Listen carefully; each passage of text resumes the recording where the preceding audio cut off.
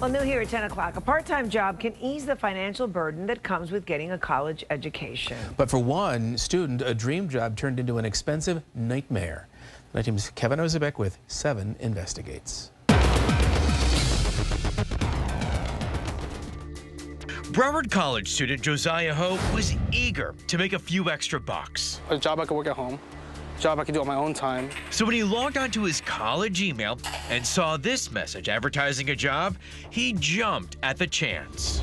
I thought this is a great opportunity, really good pay for a college student. The email is from someone named Emily with a Broward College email address. She offered a part-time job for an organization she called NGO Recruitment Relief that pays up to $500 a week. A perfect job for a college student, and I was very happy to have it, so I responded fast to everything.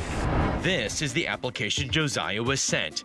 It describes a job for an administrative assistant that would help orphanages and foster homes. It's a good experience. I get to help kids, and I get paid. There was no downside to this. After being hired, Josiah got this email from NGO Recruitment Relief. It says the company would provide Josiah with money to buy all the items the foster homes requested.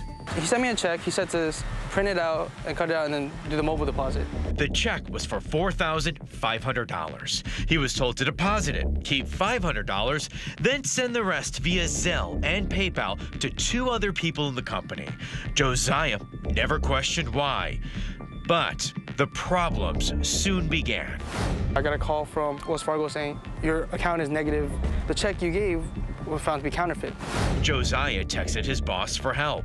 He sent me a second check. He tried to cash it, but his bank told him. Both of the checks were counterfeit. The person at the bank um, basically told me, oh yeah, you're gonna be liable for this. Since the job posting came through his school's email system, Josiah asked Broward College for help, but he did not get any. I feel let down. Broward College tells us we are saddened to learn that a phishing scam has negatively impacted one of our students. While we make every effort to educate and protect our students against these scams, Broward College does not guarantee the security or confidentiality of the use of its email system. What's the point of a private email if it's not secure? Josiah says he is now seeing more scam emails like the one he was sent in his inbox. Broward College has sent out this alert warning students about job scams. As an example, it includes the email that cost Josiah thousands of dollars. Kevin Ozebek, 7 News. If there is something you think we should look into, email us at 7investigates at WSVN.com or call us at one of the numbers you see there on the screen.